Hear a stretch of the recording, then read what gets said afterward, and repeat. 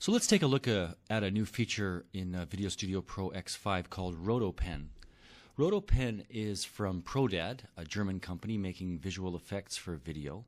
And if you go into your Effects tab in VideoStudio Ultimate, you will find RotoPen.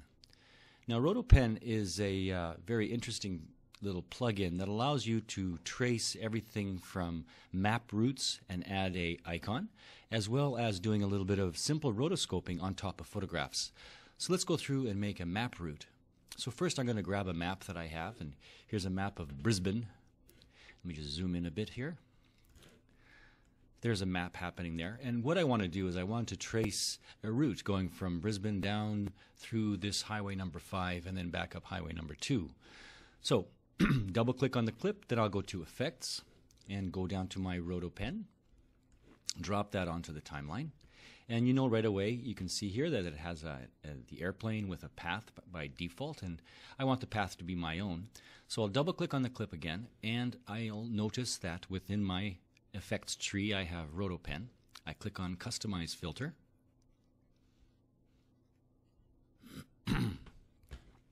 Now you have your map coming through, and this uh, could be any map, obviously.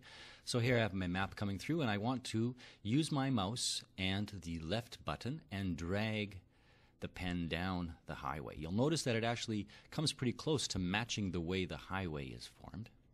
And then I'll take a left turn on Ipswich Road and go up through Moorooka and Yeerongpilly and Yeronga and then go back up here to South Brisbane.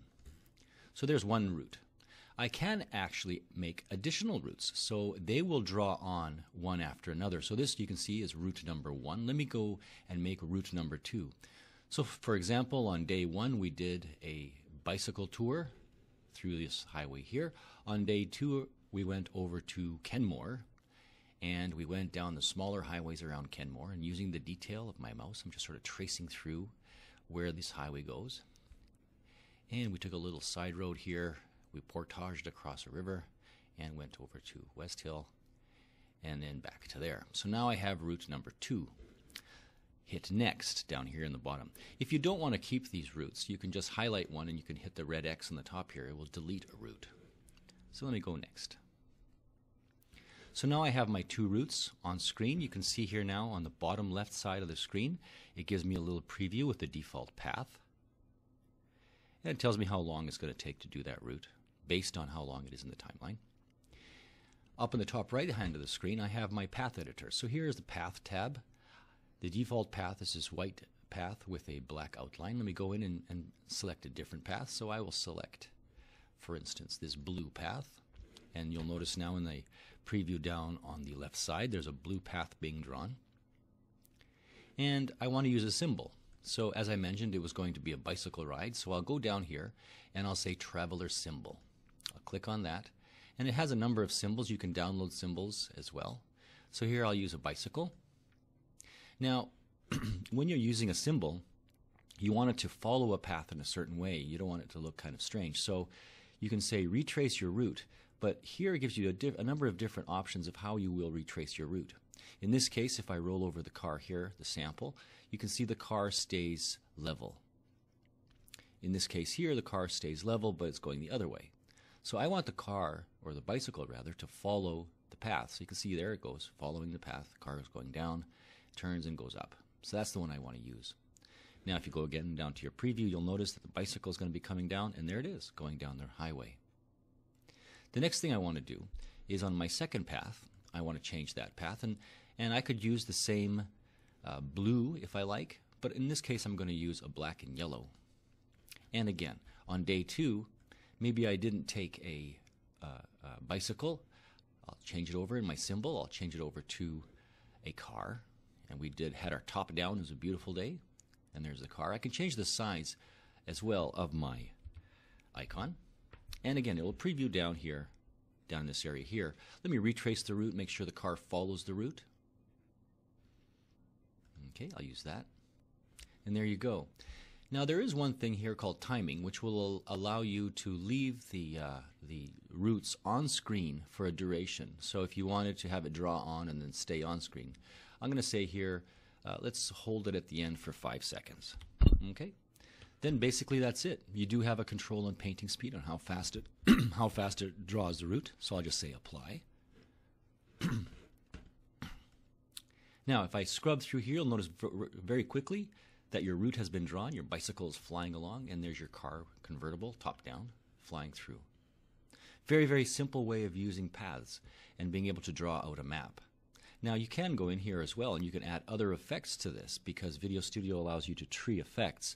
So if I double click for instance on the clip again, you'll notice that RotoPen is there. Let me add a, an effect where it would uh, allow me to change it into a monochrome color in the background. So I'm going to go here to my routes or rather to my effects. And I will go and pick arbitrarily. I'm going to pick Roto Sketch, pop that on top. You'll notice it's all black and white now, but because VideoStudio has a treed approach, I can go and put my Roto Sketch effect before my RotoPen. So now you'll notice that it's Roto Sketched, and then I have my routes in color. So you can add a lot of different things with RotoPen. You can have a lot of fun with your maps. Let's try another effect where it's more to do with rotoscoping as if you're painting on to a video. So let me go up to my graphics here. and I'm going to grab a piece of jewelry here. You can see. Now what I want to do with this jewelry is I want to sort of do a little bit of dynamic outlining. so I'll go into my effects tab and I'll go down to RotoPen drop that onto my effect. And then I'll go customize the filter by double clicking. I can say customize the RotoPen filter. Now here are my earrings. And I can go in here and just quickly say scribble on, scribble on there. That's route number one, route number two, scribble on there. And I can actually write something here too. Say cool. And again, a little bit of care and you could do some neat, neat stuff with it. I'll say next, and for the first route, I'm going to use this. For the second route, I'm going to use this, this path. I'm not going to use a symbol in this case. There's no need to use a symbol. And on the third route, I'm going to use this. All the previews come out right here, so I'll say apply. And now you have rotoscoping on top. Very, very simple rotoscoping. And if I hit play, you'll see the cool is going to get written on here. There you go. Very, very, very simple. Now, because, as I mentioned earlier, VideoStudio allows you to cascade effects and put them into a tree, if I double click, you'll notice the only effect here is RotoPen. I can go in here and add another effect, say for instance ripple. Now the rippling will happen while the RotoPen is going. Not maybe an effect you want to go for, so I can double click and change the order of those effects. I'll say do the ripple first and then follow on with the RotoPen. So here I have the RotoPen and the ripple happening beforehand.